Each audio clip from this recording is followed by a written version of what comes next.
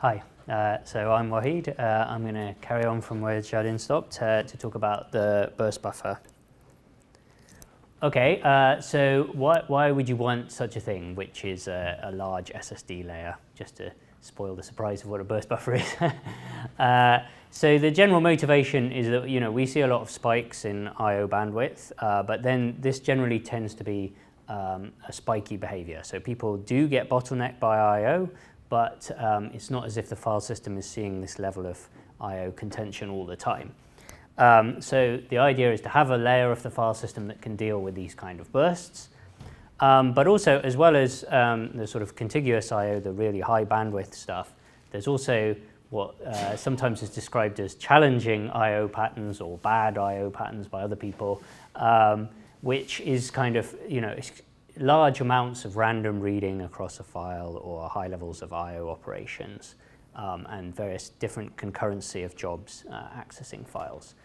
Um, so while um, providing capacity via disks is the cheaper option, if you actually want um, you know, high performance in this sense, uh, then SSD is actually a relatively cheap option. So uh, the motivation is to have uh, some smaller capacity layer that can handle these kind of bandwidth spikes, but provide a larger capacity uh, in a normal parallel file system. And then a couple of other comments here, uh, as Jialin has probably mentioned, or someone would have mentioned, we have, you know, the large, the Lustre file system on Cori, for example, is a huge 30 petabyte uh, POSIX parallel file system where every user can see every other file and so forth. And really that's not a very scalable model uh, for performant file systems. So the other innovation of these burst buffers is to actually build file systems on demand, which look like POSIX file systems but aren't shared with people they don't need to be shared with. Um, and the other thing is to, you know, we have this high performance network, why not actually put the storage on that network? So, so the architecture of the burst buffer at NERSC, which is on the Cori system, first of all, so don't try and use this on Edison, here's one thing, um, is to provide, so this is like a sort of part of the Aries high-speed network, and this is obviously replicated several times. Uh, you have compute nodes, uh, you also have conventional I.O. nodes that talk to the Lustre file system that's on a different fabric, on a different network. Um, but you have also nodes that look very much like the I.O. nodes, but instead of um, connecting to the file system here, they actually have SSDs directly in them. Um, and then, so that's the kind of hardware, but then there's also this data warp software provided by Cray that goes with this, uh, that's integrated with the workload manager so that you can actually request pools of storage on this system in quite a flexible way, uh, either to use just within your job or uh, to be persistent across different jobs, and I'll explain a bit about that uh, later. So, uh, you know, there's nothing magic about the burst buffer. You do just see a file system that you can use at the end of it. Uh, but this file system can be striped across many nodes, um, or it can just be one node, and so that allows more flexibility than this, if this was just a single uh, local disk in each compute node, for example. So if you want a large amount of space that can be seen by many compute nodes, you can have that as well. Okay, so there's a nice picture of what a burst buffer node looks like, and we have still, you know, pretty large capacity considering this is just used for, you know, individual jobs and stuff uh, of 1.8 petabytes over 288 nodes. And just to stress again, this is only available on Cori. Um, so when you, when you want to use a data warp, you create an instance. Uh, and this can either be per job, which is only created by the job that uses it. And when the job ends, it's automatically destroyed, including all the data on there. So this is um, still useful because it's um, similar to a local disk or something. You can still stage in the data from the file system, run on it, uh, stage out everything that you want to save that you've produced, uh, and, but you don't have to stage out things like checkpoints and what have you that are only just for your application as it's running. Uh, but we also provide persistence instances, which basically can be used also by other users, subject to the normal kind of uh, Unix file permissions they set. Uh, how long you want this to last is set by the creator, uh, and this is useful if you want to have something that you're going to frequently reuse in different jobs, or perhaps different other people are going to reuse this same data, like a database or what have you. Um, or if you have a couple job and you don't want to run it all within one job, so you want to do some visualization on some data produced by a simulation, for example. Uh, but this isn't meant for long-term storage of data. So this isn't a resilient file system. If something goes wrong, you will lose that data. So Uh, you shouldn't expect it to be there for a long time. Uh, and you know, at the moment, we're not constrained on space, but potentially we might automatically like expire some of these over time. So don't expect to use it forever. Okay, um, so I mentioned briefly, uh, well, no, I don't know if I mentioned, but there are different ways of accessing uh, the data or, or, an allocation of burst buffer nodes. So one is called uh, striped mode. So here you, um, uh, you can have you know, several burst buffer nodes and several compute nodes, and all the files that you create on this are striped across all of the burst buffer nodes and visible to all the compute nodes. So this is similar to a parallel file system, but created just for your job or, or in this persistent reservation. Um, and so this creates its own file system, and it also has its own metadata server, but it has just one metadata server for the, um, the whole allocation. Uh, on the other hand, you can have a mode like private mode, where the files are only visible to the compute node uh, that creates them. So this is much more like a local disk sort of scenario, and it's still useful for any of those uh, applications that you know that only create data locally and just need a local disk type situation. Um, and then an additional advantage here is that each data warp node is its own metadata server. So for things that are very metadata limited, this can be a good model. Okay, so now I come to how to use data warp. Uh, so the main way that we expect people to interact with uh, the burst buffer, yep. If we use the shell mode, but uh, we don't use it in, um, during the processing, uh, do we lose in terms of performances, or there is no problem like, like that? You're saying if, if, you, if you don't need the compute nodes to talk to each other, yes, but you still choose to use shared. Mm -hmm. Yeah, I mean, basically, probably not only in this, for this one factor that if you're limited by metadata, then this is more scalable in that respect. Uh, but otherwise, it's, you know, you kind of think this is like, why not always do this? Because you have the option of seeing across the compute nodes and you also can obviously not share if you don't want to. But, but yeah, the only, and we have seen cases where people have like, for example, uh, SQLite database or something that has a lot of metadata operations that actually private mode is beneficial. So.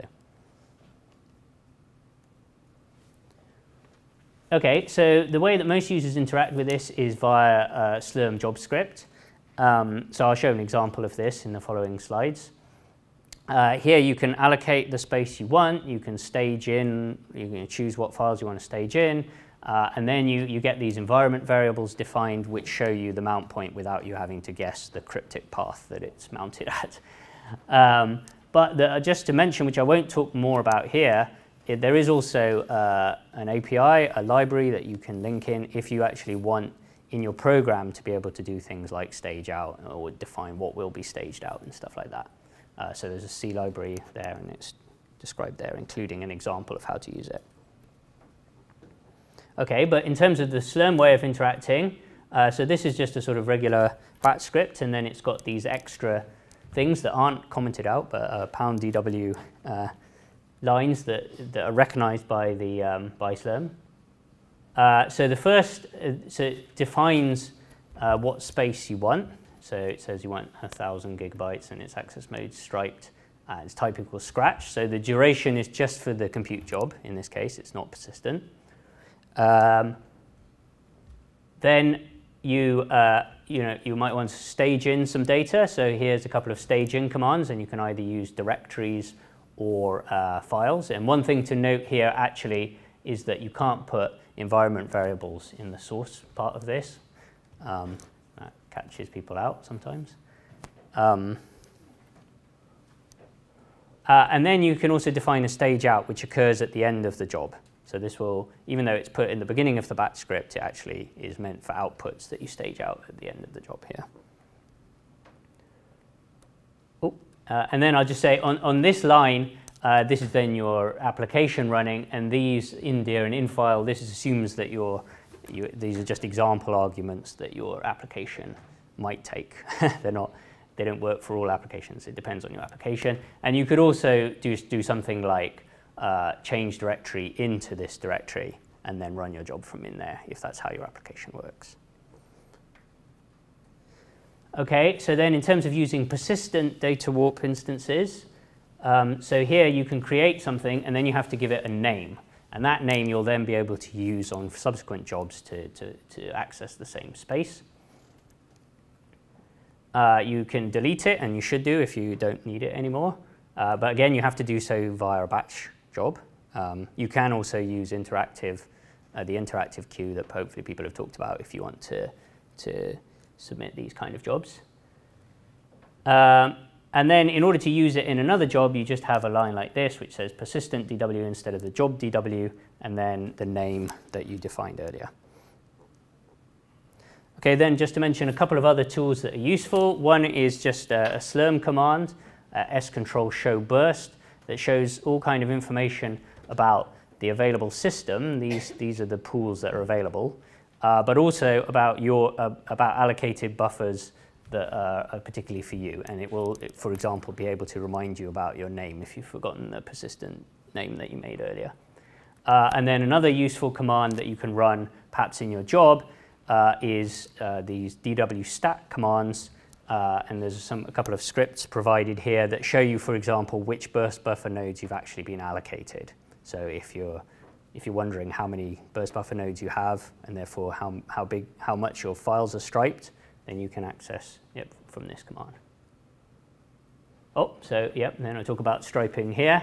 Um, so here, you basically don't have any choice. Unlike with the Lustre file system, you don't have much choice about the striping that you get. It's, basic, it's pretty much only defined by the, um, the space you request. Now, to give you a little bit of control, we currently have two pools, which have a different granularity, as it's called. Uh, and so if you request the same space, it's basically divided up in these granules across the, um, across the nodes. And so if you, if you requested, uh, did I get that? Well, yeah, I think that probably, the maths is still right. So these changed, I had to change my maths uh, from previous example of this talk. But anyway, um, if, yeah, if you request 1.2 terabytes, it will be striped over 14 burst buffer nodes in one pool, but 60 burst buffer nodes in the other pool. So for smaller spaces, you may benefit, if you have large files, from uh, striping over more nodes. And I think, oh, yeah, well, this kind of shows the performance that you can get at best. Um, so against benchmarks, uh, the burst buffer does very well. And um, you know, you can get 1.7 terabytes per second and, and huge amounts of IOPS compared to the Lustre file system.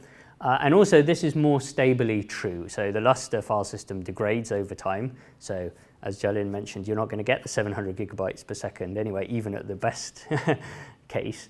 Um, whereas this, you should still now be able to get potentially. Um, but although this is for, you know, somewhat idealized test. Um, but then there's various performance tips that we have on the, the burst buffer web pages that I'll provide links at the end. Um, but you know, one, one simple tip, for example, is, is to stripe your files across multiple B burst buffer servers. As I said, that's only controlled by the space you request.